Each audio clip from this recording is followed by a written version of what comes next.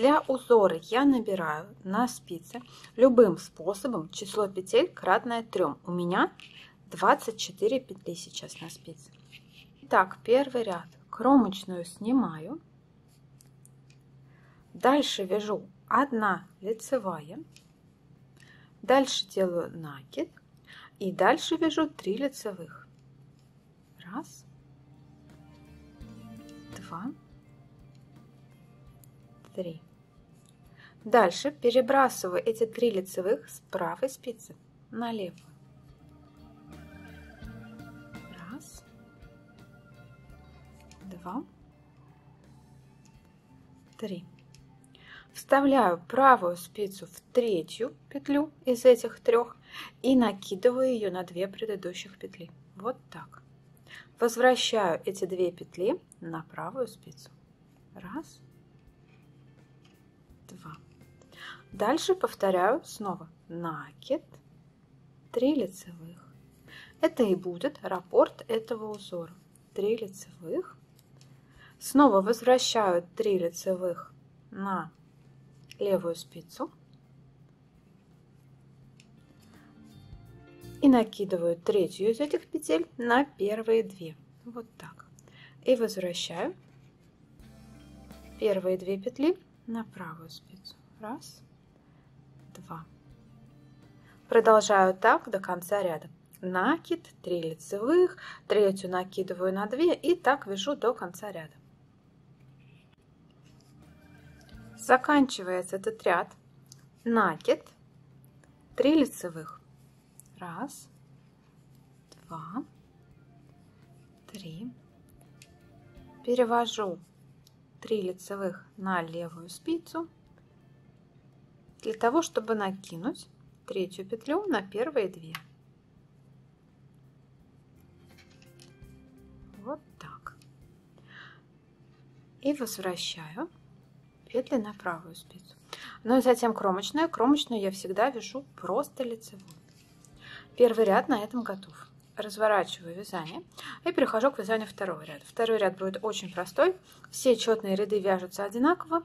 Это просто изнаночные петли. Кромочную снимаю. Дальше вяжу все петли изнаночные. Заметьте, я вяжу изнаночные классическим способом, не бабушкиным. Ну и, соответственно, рассказываю, как вязать лицевые, исходя из того, как я провязала изнаночные. Вяжу все изнаночные до конца ряда. Кромочную я всегда вяжу лицевой.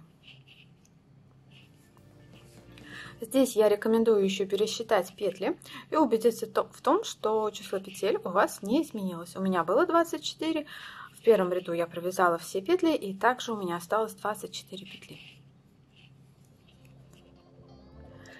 Третий ряд. Фактически он будет очень похож на первый, но немножко в другом порядке. Снова кромочную снимаю, перевожу ее на правую спицу.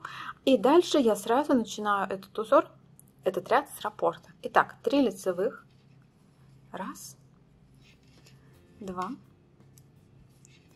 три. Возвращаю петли на левую спицу.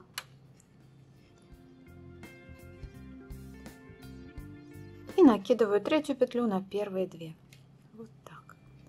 И теперь возвращаю эти две петли на правую спицу. Раз, два.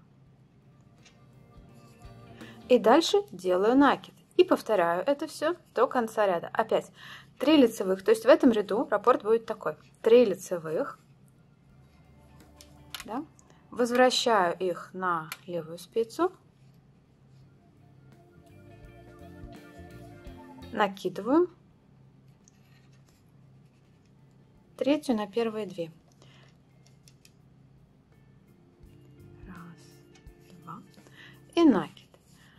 Повторяю это все до конца ряда. Три лицевых, третью накидываю и затем накид.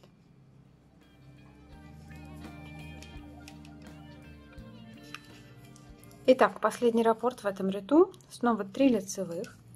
Раз, два, три. Возвращаю их на левую спицу. Раз,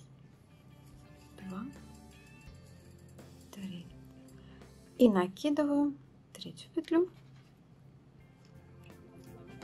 на первые две. Возвращаю их теперь на правую спицу. Дальше делаю накид. И заканчивается этот ряд лицевая и кромочная. Третий ряд на этом готов. Перехожу к вязанию четвертого ряда. И четвертый ряд будет аналогичен второму ряду.